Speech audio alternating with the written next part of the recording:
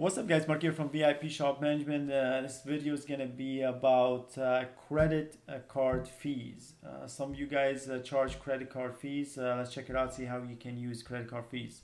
step number one, you need to go to, click on the gear right here, general settings, and then go to fees and setup, and then go to credit card fee.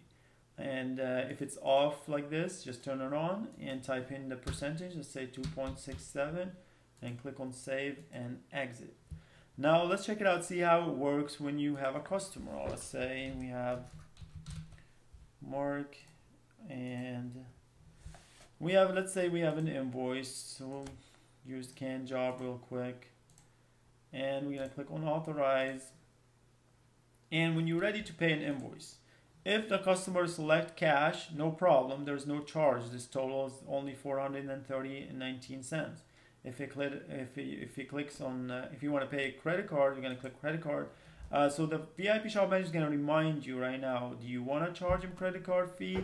And it's going to calculate the credit card fee for you, which is in this case is a lot. It's $11.49. You can choose to say, uh, say continue and don't charge him, or you can click on charge CC fee. If I click on charge CC fee, um, it's going to bring the new total now, which is 441.68. So let's go back and see what happened, how that total came to. If we go back to labor, it's going to add the credit card fee separately in 1149, which is really cool. So it's going to add it automatically for you. Just click on pay invoice, and when you click on credit card, you can continue to do so. If I try accidentally to click on cash, it won't let you. It's going to tell you, hey, you must delete the credit card fee.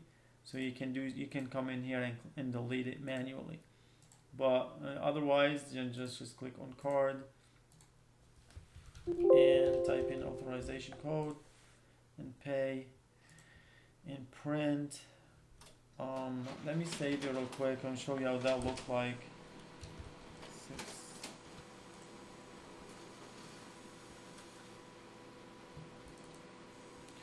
So that's how the invoice would look like for the customer. If you see the parts right here and the labor right here and the fees. The fees has its own section so you can see the credit card fee up here and it's gonna have the fees up here so